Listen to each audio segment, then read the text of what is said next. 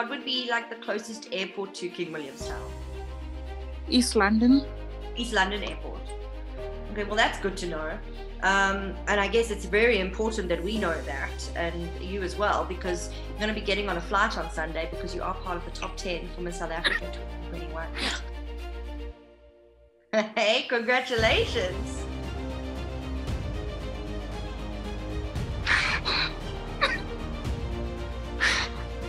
I've got even bigger news than that.